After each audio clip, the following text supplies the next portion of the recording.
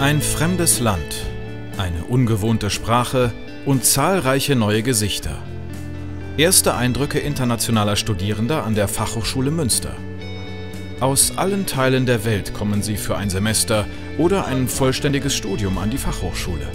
Hilfe und Unterstützung bietet ihnen dabei der Welcome Service des International Office. Und das bereits vor der Ankunft in Deutschland. Bei der Planung der Anreise, der Suche nach einer geeigneten Unterkunft oder Fragen zum Visum steht der Welcome Service internationalen Studierenden und Gastwissenschaftlern als erster Ansprechpartner zur Seite. In Münster oder Steinfurt angekommen, leistet das Team des Welcome Service Unterstützung bei allen notwendigen Formalitäten und organisiert darüber hinaus ein abwechslungsreiches Freizeitprogramm. Angebote, die geplant und koordiniert werden müssen. Der Welcome Service besteht aus einem internationalen Tutorenteam.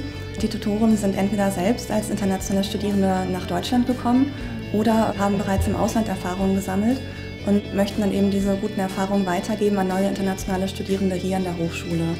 Ähm, dadurch sind sie natürlich auch schon entsprechend ähm, sensibilisiert, wissen ähm, um viele Probleme, die man am Anfang einfach hat, wenn man neu in eine Stadt kommt und neu an einer Hochschule anfängt zu studieren und können dann auch auf ganz vielen Ebenen den Studierenden weiterhelfen. Denn zu zweit geht vieles leichter. Die Tutoren lotsen durch den Behördendschungel, begleiten zu Ämtern, Banken und Krankenkassen. Sie helfen Formulare zu verstehen und bei schwierigen Beamtendeutsch den Durchblick zu behalten. Aber auch im weiteren Verlauf des Studiums ist der Welcome Service Ansprechpartner. Bei kleinen Fragen und größeren Herausforderungen. Wenn dann fürs Studium alles passt, kann ein Blick auf die Freizeitgestaltung geworfen werden. Hier bietet der Welcome Service über das gesamte Semester ein vielfältiges Programm an. Von gemeinsamen Bowlingabenden über Städteausflüge bis zu regelmäßigen internationalen Treffen.